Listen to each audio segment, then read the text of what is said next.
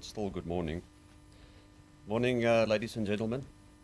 It really gives me uh, a great pleasure to share with you uh, what I really hope is going to be a few uh, new and fresh thoughts around uh, waste as a, as a resource. And I know the program specifically spoke about e-waste, uh, but we do believe that the principles I'm going to talk about is really, it has to do with really solid waste, all of the waste streams out there. Um, also, uh, really hoping to share a few new ideas and also on how to unlock the value from waste through a new, fresh, meaningful, and, and, and, and achievable, to do it in an achievable manner. Great. Wow. Okay. Now everybody can hear me.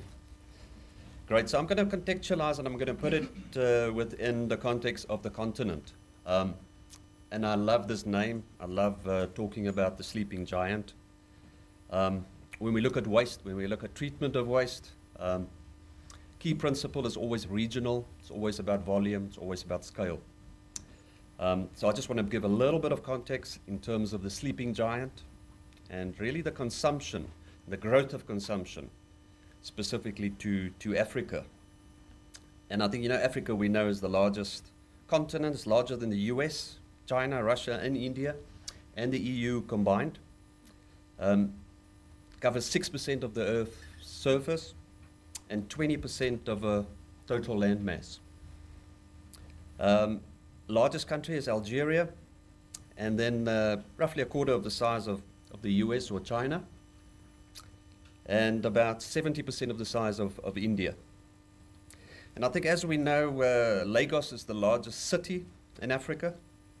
It's currently the seventh largest city in the world, and it's projected by 2100 expected to be number one. So, in terms of uh, population, most populous uh, country, 2050, uh, it's estimated that Nigeria's population will be equal to the US. So phenomenal growth in terms of uh, population. I think what's very important, and I think uh, Minister Davies um, and some other some other speakers also touched on it, um, that the Africa is the largest population of people from 15 to 25 years of age. And I think in terms of megatrends, we've all heard about the new way of doing business that's being really being pushed forward by the millennials.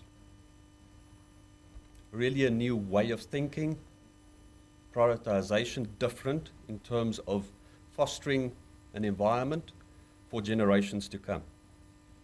And I think it's an important factor that we need to keep in mind.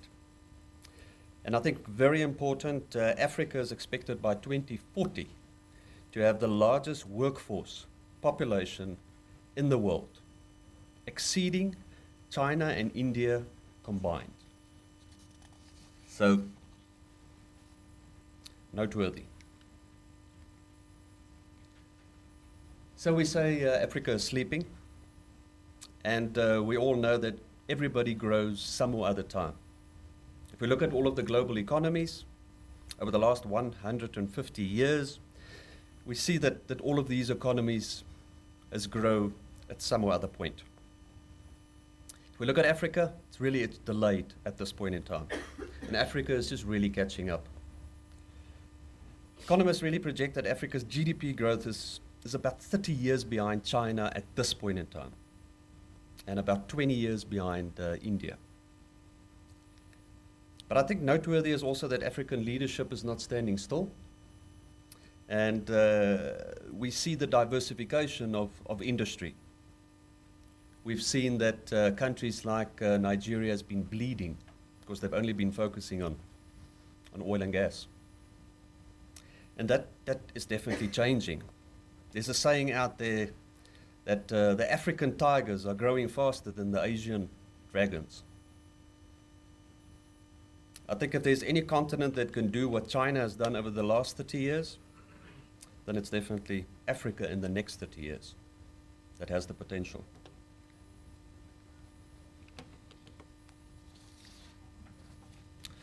So coming back to the workforce again, um, it's estimated uh, that the African workforce will swell by 163 million just in this decade. And by 2035, once again, bigger than China. By 2050, Africa will account for 25% of the world's workers. If we look at uh, government spending, this is, a, this is a really important indicator. 20% of government spending is currently going to education. I think we've heard a lot from, from uh, uh, the speakers and from uh, Dr. Sizwe on, on specifically education. And yes, maybe South Africa lacking behind at this uh, point in time. We also see that the purchasing power is rising. All of these demographic shifts are really contributing to the rise of the middle class in, uh, in Africa. And then also we currently see this uneven uh, foreign direct investment picture throughout uh, Africa that's really driven by global uh, uncertainty. So the global political, economic, and investment landscape has really entered into an exceptional period of, of transition. And I think uh, we've, we've seen that Africa feels it when the rest of the world sneezes. Um, we've even seen it through the UK vote to leave the European Union. Um, we've even seen it through the election of Donald Trump in terms of focus, UN agencies, funding. Um, I think we've heard about the fourth industrial revolution, and we've seen the end of the commodity super cycle at, at the same time. And I think that's also really impacted um, Africa. Uh, but we see the technologies, we see the Internet of Things taking shape. Um, we see Africa really leaping on in terms of um, access to, to mobile data, to mobile phones. Penetration rates are really high. Not that high on, um, on smartphones, though. Penetration in terms of mobile connectivity, yes, very high, but Africa is still lacking behind in terms of access to internet data. So, uh, a good few indicators in terms of uh, the growth and moving forward. I'm going to now just quickly show you two small, very short videos. And it's just um, specifically looking at uh, now the sleeping giants' consumption needs. Um, and it's just looking at from a, I think we, uh, I heard Minister Davies talking about circular economy. I think it's on everybody's lips. It's in terms of the potential, in terms of, uh, I'm going to quickly touch on how Africa can actually leapfrog specific issues that, uh, that the developed world has had in this regard. Um, and then a second one in terms of uh, recovery of, of materials. And then I'm going to put a question out. I'm not going to expect you to, to write a small test, but I'm going to put a question out. I'm going to move to a next slide. I'm going to contextualize in terms of building blocks to really unlock this value from the waste stream. Um, and then I'll check in back with you. The conventional lifespan of most products is linear. There's a clear beginning and a clear end. Once they've served their purpose, they're often discarded,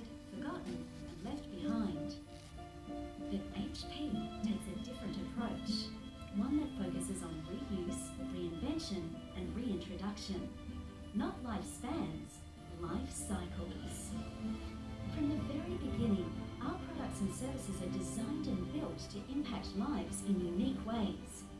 Once they've served their purpose, they can start a new cycle. Instead of ending up in landfills, they can be put back into the hands of the very people they were designed to inspire. It's the type of global change we've been committed to leading for over 50 years. From customers and employees to partners and people across the globe, we continue to be driven by one simple idea a better world for all of us.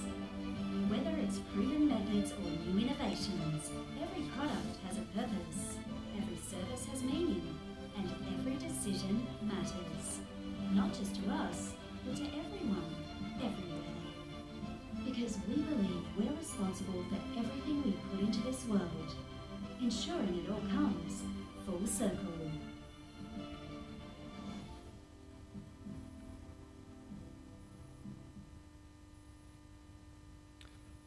And, and really the quick take on this one is th this is the disruptive business model that we're talking about. And as HP, we're aligning. We're aligning to that uh, business model in terms of a low carbon and a, and a, and a circular economy. And it's, it's ultimately to shift from that linear approach, from the take, make, use, and dispose cycle. But it's deeply rooted through our generations. And it's going to take quite a bit. So I'm going to just also just emphasize a few points around that mind shift that we, that we ultimately need to do. And then uh, here's the resource one. And I'm going to have a quick question after this one. pendant après 12 janvier, nous venons du jour d'attente. Après, nous pouvons essayer pour nous battre pour arriver plus devant.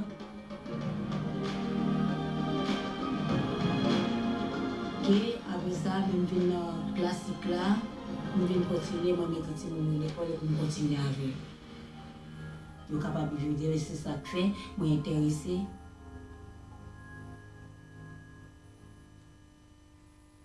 Great. So a wonderful story about uh, Rosetta. Uh, we, we released that story just about a, two months ago.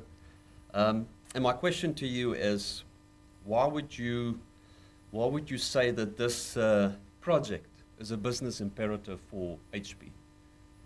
But just think about it a little bit, and I'm going to go through the next slide, and then we're going to come back to, to the answer. Why would this specific project be a business imperative for, for HP? Whoops. Oh, I see it's a Acer, not a not a HP. I think it's maybe just the graphics card. But it's basically it's a circular economy uh, illustration. It's from an Accenture report. I picked it up recently in World Economic Forum PACE platform for accelerated circular economies uh, session, and I thought it was really noteworthy in terms of circular economy potential when we look at ultimately the life cycle of, of industry. And I think uh, you know really for me it's about uh, let me use about looping the end of life cycle and looping it straight into the manufacturing cycle in terms of secondary raw materials. And I think we can have a look at potential value in terms of about $3 trillion that is currently being wasted. Um, I think also noteworthy um, is to see that the initial cycles in terms of transport, it's really visible elements to us as the consumer and the use of the product. I think we've seen it's come a long way, but so much less in terms of potential when we lose sight of the product, the everyday product. And I do not want to just talk about computers, I'm talking about each and every product out there that we use each and every day. So turn waste into, into a resource. Um, we've heard it all. We've heard waste to wealth. We've heard about the urban mine. Um, sounds familiar? I'm sure, I'm sure you've, you've heard the terminology. Um, and frankly speaking, um, you know, we've been discussing these topics for at least the last decade, at least, at least as responsible industry, as, as HP Inc. At conferences, workshops, we've been doing studies. Um, and well, and all that I can say is that I think the biggest winners out of this topic, this debate, has really been the conference organizers. I think they've really made a killing out of this. And there's not really that tangible results that we can see in terms of harvesting the value from the waste, building industry, creating sustainable jobs, and adding value to, to, to the local economies. I think we, at this point in time, we've learned so many lessons. We've had so many headaches as industry especially in Africa, and I'm now contextualizing Africa and the work that we've done in Africa, including South Africa, that we're really proposing a mind shift when it comes to the concept of waste. I think we're really asking that uh, waste needs to be turned on its head. The concept of waste needs to be turned on its head. And I think with this, we're not saying that we need to do away with the word waste, but rather reserve the use of the word for materials that are toxic materials that cannot be recovered and made safe for reuse. Why not rather keep waste, that specific concept, for those specific materials? And then we set a goal for ourselves to ultimately eliminate medium to long term that specific waste stream. Let's eliminate toxic. Let's eliminate materials that cannot be kept in circulation at its highest value. That is, that is really the mind shift. Um, and please call out. I mean, if, if I do not explain it properly or I need to give an example, say, doesn't make sense. Give me an example. What do you mean? So, and I think it, it's really moving forward with this waste stream. Um, and, and, and even internally in HP, I was last week in Europe. Internally in HP, I'm being wrapped over the knuckles because I talk of waste. Ruben, why are you talking of waste? And, it, and it's once again in terms of, in terms of that definition. Um, and I had, a, I had a discussion with my colleague, and I said, you know, frankly speaking, you know, we call a spade a spade in, you know, in Africa. You know, it, it is what it is. We cannot, at this point in time, there is no industry to responsibly take care of our product come end of life. So why? You know, we first need to solve the problem around waste. And, and, and I think I really got an interesting reply. Um, this colleague of mine, uh, she's doing quite a bit of work on, on circular economy, also works closely with the Ellen MacArthur Foundation, with Andrew and the guys. And she just said to me, you know, uh, why could you guys, Africa, why could you not leapfrog? As I said previously, why can you not leapfrog all the issues that we had in terms of waste, dealing with the problem of product come end of life? Why not leapfrog in terms of looking at the bigger picture, looking at determining what products you use and how you use it? And then you're going to solve all these issues of sitting with the waste stream or the toxic materials. Why did you choose that product in the first place that you could have had the information on in terms of toxic materials and that this, these materials can't actually be made safe or it can't be, can't be recycled? And I think, as I've said, circulation as long as possible, and we need to start putting our foot down in terms of starting the life cycle. When we buy the product, when we use the product, we have the choice. The end user has the choice. And it's really about looking at tangible solutions on the ground and really starting with the key decision makers of. Uh, of the specific product. It's a life cycle. And, um, and I think less, less, less on policy mechanisms. And, I, and I'm going to touch on policy, less, a little bit less on policy mechanisms, a little bit less on terms of that big stick. Why do we need to punish what has already gone wrong? So it's just to, to, to shift, just to do the mind shift. So let me quickly just share with you a few ideas. Really building blocks. First one is not really a building block, it is the foundation. Education and entrepreneurship. I think we've heard about education this morning. South Africa lacking behind. And it's really about education, and then it needs to be turned into competency. But then ultimately, in terms of sustainable business, small business, sustainable jobs, we need to enable entrepreneurship. We have so many people such good ideas, but they haven't got the tools. They haven't got the tools to put it into action and to really turn it into an enterprise to create uh, sustainable jobs.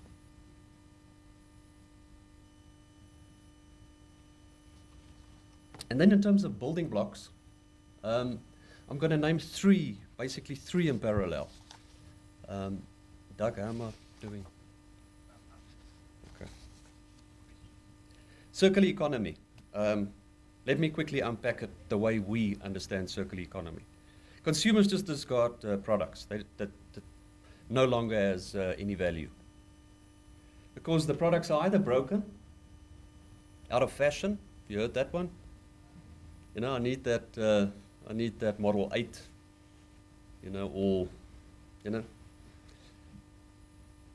and then uh, it's, it's been found that in developing economies, up to 80% of things are really stored in a typical home for about five months before actually using it. And it's coming back to that linear approach. It's coming back to take, make, use. And sometimes we use something for a few minutes. We never use it again. It goes into, goes into our garage, goes into the cupboard, to be forgotten. Um, if we look at the sharing platform that's really taking off, um, really, really interesting. Um, in terms of maybe incorporating it with digital technologies, it, it really it starts new relationship, starts new business opportunities, really for the consumers, companies, micro entrepreneurs who want to rent, share, swap, or lend their idle, idle goods. Who can give me an example of that currently really taking off in South Africa and really serving the needs of the commuters out there? Uber.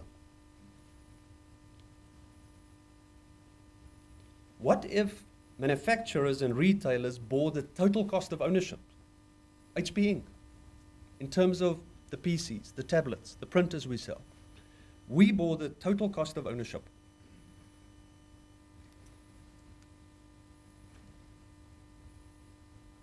Typically, what would happen with the HP is our business model would start shifting, or a manufacturer's business model would start shifting, because you suddenly now rent out, or you being paid for a service, just used for that specific product's function. And typically, the business model would, our business model, or the manufacturer's business model, would suddenly start focusing on longevity have we heard that from manufacturers? I mean, when we do transactional sales, product obsolescence, Ooh. reliability. Reliability would be very important for us because we sell you a service. Reusability. And we've just seen when consumers lease or pay for product by use, through the product as a the HP model is called DaaS, so it's device as a service or product as a service. Um, the business model fundamentally shifts and it shifts in a good way. We've seen that performance trumps volume. We've seen that durability tops disposability. And companies now have the opportunity to rather focus on the customer and build new relationships. That's a, that's a complete shift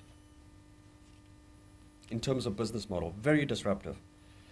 And I think as industry or as HP, we really hope to transform this circular economy concept, you know, from an abstract concept into an easy to understand model for the consumer in terms of, uh, in terms of the product. But I think uh, at a practical level, I think we've all agreed uh, making that shift is not going to be easy.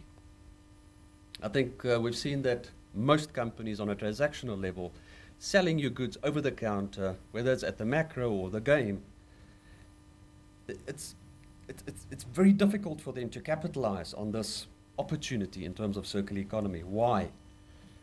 Because their strategies, their structure, their operations, their supply chains are deeply rooted in the linear approach.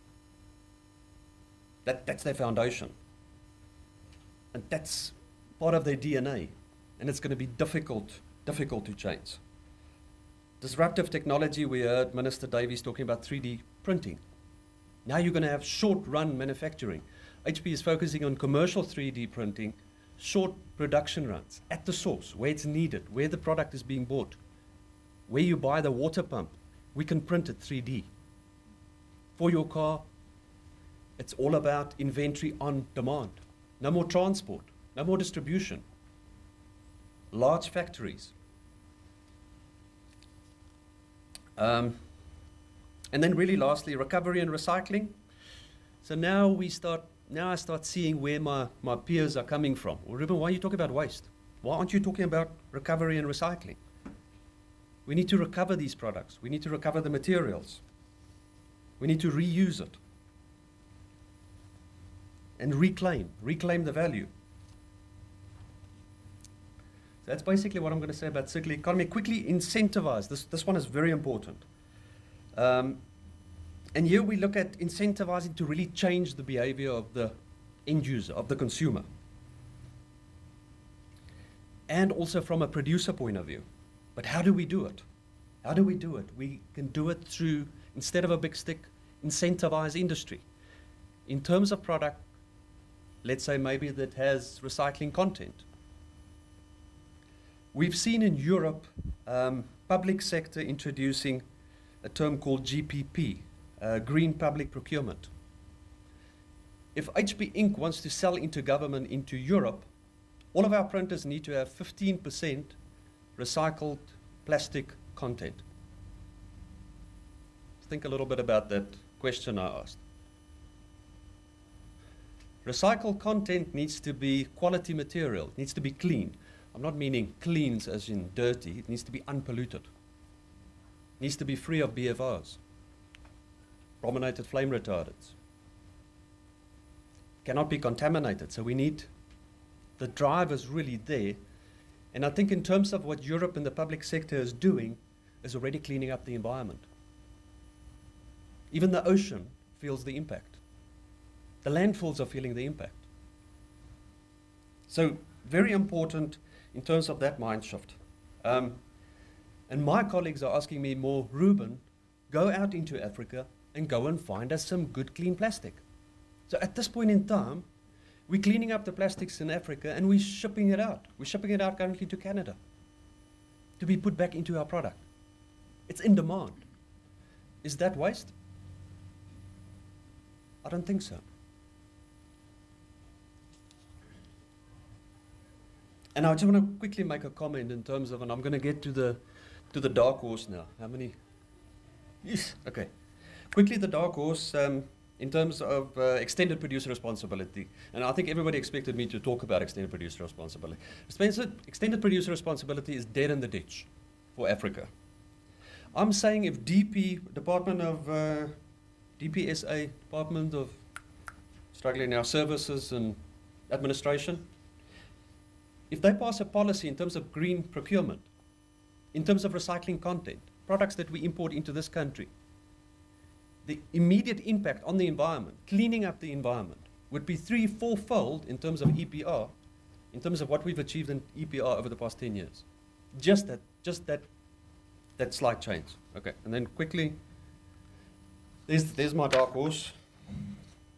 And this is, this is, and I didn't really cover industry collaboration. Yeah, so I mean, I'm, I'm out of time. I'm to skip that one. That one is more about inclusive uh, platforms.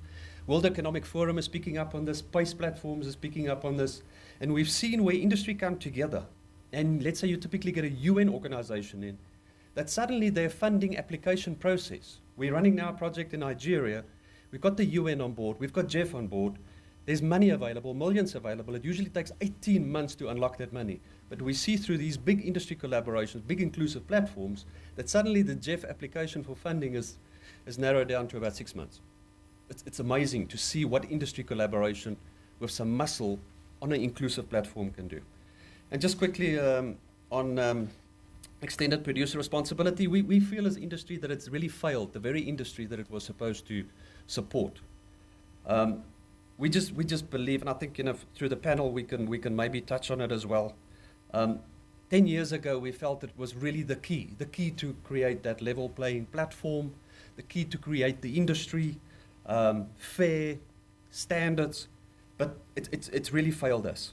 Um, and we, we've just experienced that policymakers in Africa has been telling industry, has been giving industry a restrictive legislative framework where we could not put our lessons learned, our expertise to good use in terms of unlocking uh, that value. That we've seen in South Africa, that we've seen in Kenya. Kenya, the regulation has been coming for three, four years. It's, it's been ready. It's, it's been at Parliament for three, four years. We've seen what has happened in Ghana, the environmental minister currently being arrested. It's, so, yeah, not, not very good. But yes, extended producer responsibility definitely needed. Um, it's going to take time. Let's rather focus on the building blocks, on a foundation to really unlock. And then just quickly coming back to the answer to my question.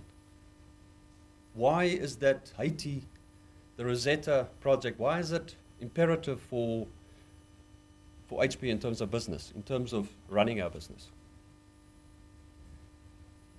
And I'm typically wondering if I'm going to hear it's a good social driver for you guys. wow, you guys can shine. Hmm? It's not.